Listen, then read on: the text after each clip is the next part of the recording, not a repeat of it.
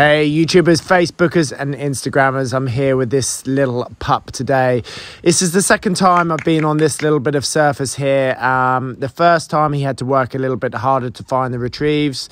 We're starting to make him have to work using his nose, not just his eyes. So you're going to see how I'm going to hold him back, throw the retrieve. I cover his eyes momentarily, and then I release him onto the retrieve. Today's goal is about starting to get that dog to mark and then use his nose to find the retrieve, not his eyes. So we'll be working with the wind today and uh, hopefully making it progressively a little bit tougher each retrieve.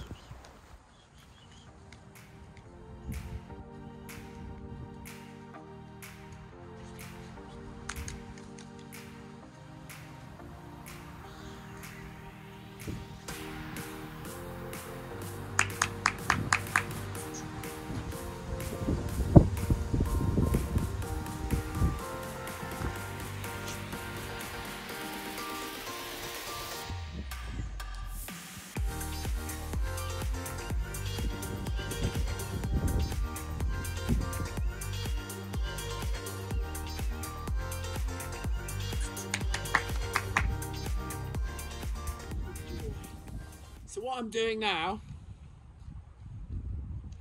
is hiding the retrieve from him by initially throwing it. So I'm going to roll it and then cover his eyes.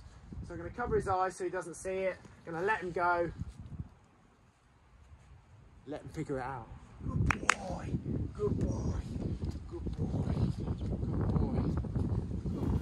So what I'm going to do now is turn him away so he can't see it. So I'm going to give it a roll and then turn him away. And I'm going to put him back down again. Let him see if he can figure it out.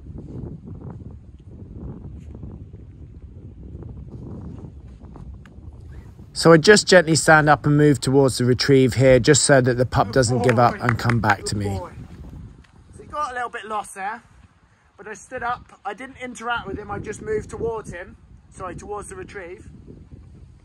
And then he picked it. Now actually I did this for the first time the other day. And he had to work a bit harder to find it then. But he's already figured out how easy this is. So I'm now going to take him to a little bit of longer grass which will probably make it a little bit more difficult. So we'll give that a go.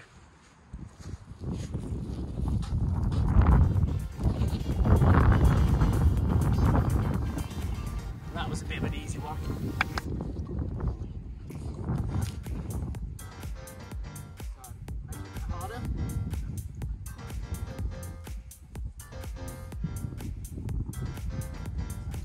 Little bit more now.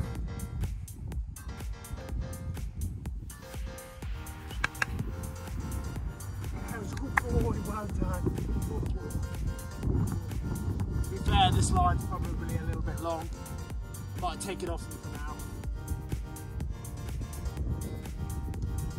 Now what I'm trying to do is just make it hard enough so he can't see it. Just so he has to work for a second. He can't see that. If he goes the wrong side of the wind, he won't pick it. There you go, there you go. Good boy, good boy. Well done. Good boy, good boy, good boy.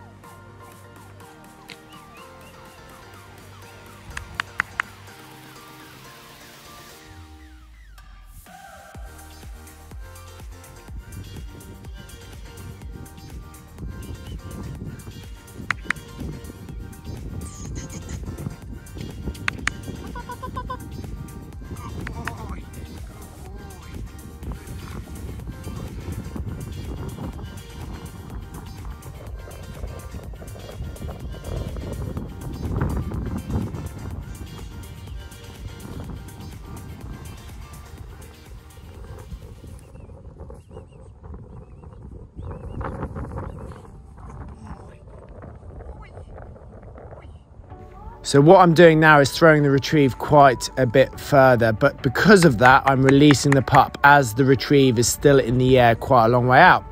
Now that keeps the dog marking the retrieve and keeps the confidence level high. I'm also always working into the wind. Now you see here, I stand up and gently move towards the pup. I was a little bit concerned he might give up and come back towards me. So gently moving towards the retrieve keeps that confidence level high. Throwing it a little bit further into the wind now.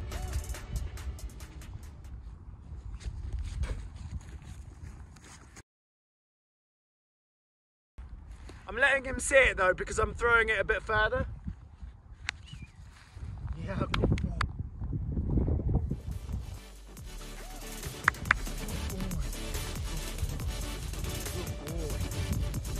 Right, one more. Bit further this time.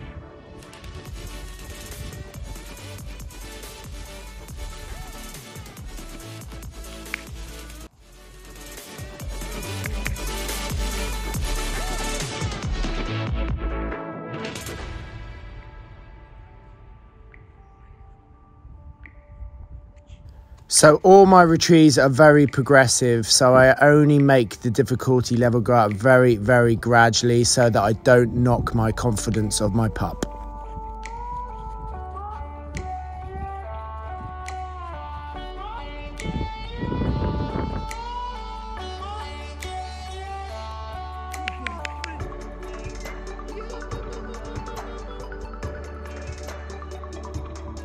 I'm also always releasing my pup out onto the retrieve with my right arm so that later when I steady the pup up that it will recognise a signal to go.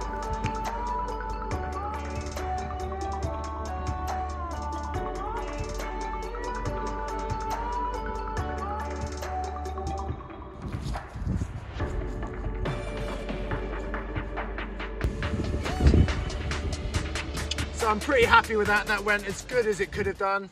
So last session I just did it uh, in a little bit of grass over there and then today I've gone up into a little bit of longer grass making sure that I'm working into the wind because that's your puppy's best friend and he did an absolutely sterling job. I'm really pleased with him. It's better than I thought it was going to be. Um, so yeah, all onwards and upwards from here. Hope you enjoyed this vlog episode guys. Don't forget to follow me on Facebook, YouTube and Instagram.